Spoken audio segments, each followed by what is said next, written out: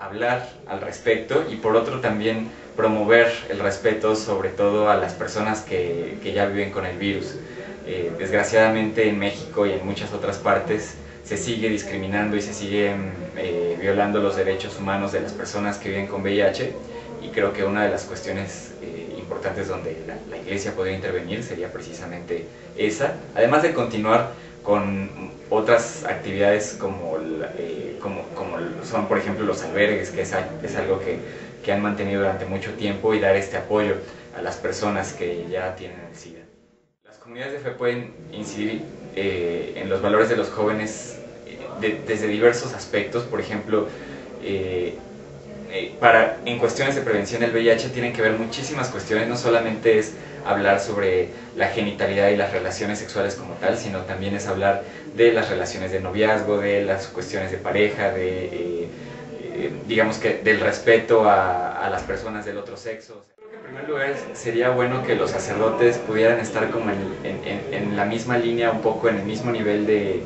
eh, entender dónde estamos parados los jóvenes hoy en día, ¿no? En cuanto a lo que nos gusta, en cuanto a lo que, este, en cuanto a lo que vemos, lo que leemos, etcétera, para poder eh, recuperar nuevamente como esta confianza de, en la que los y las jóvenes pueden hablar más abiertamente con, eh, con, los, con los sacerdotes y por, y por la misma cuestión, de esta forma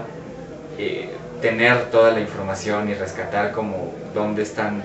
los problemitas, dónde están aquellas soluciones que se podrían tener en cuestiones de, no solamente relacionado al, al, VIH, sino otras cuestiones que tienen que ver con sexualidad y de esta forma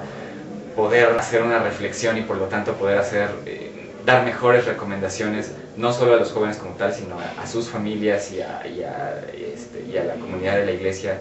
eh, como tal, pero ya a un nivel más adecuado de la realidad actual que, que con todas las tecnologías de la información y otras cosas está cambiando súper rápido y es importante